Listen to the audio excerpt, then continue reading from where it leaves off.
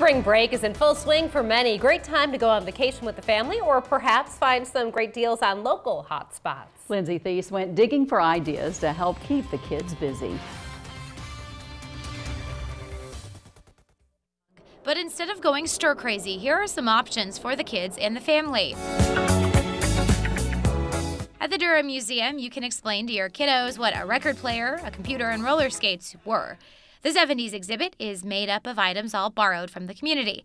Get ready to explain what life was like pre text.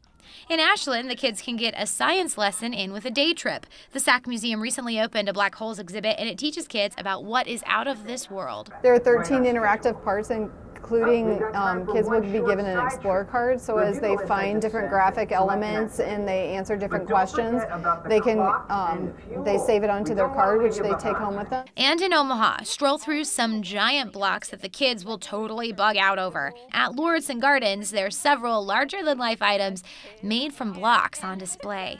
More than 450,000 total pieces wow. make up the exhibit, which just I find incredible yeah. how how many pieces.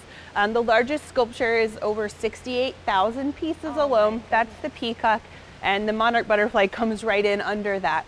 And you know they really take a lot of time to put together. You can keep the Lego love going at the Children's Museum. They're building up their latest edition. He's really liking this exhibit a lot.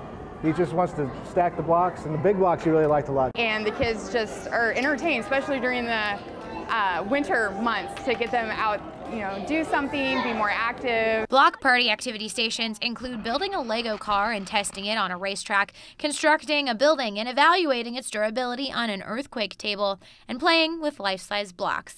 I encourage making and busting through a giant wall. Lindsay Thies, up front at 4.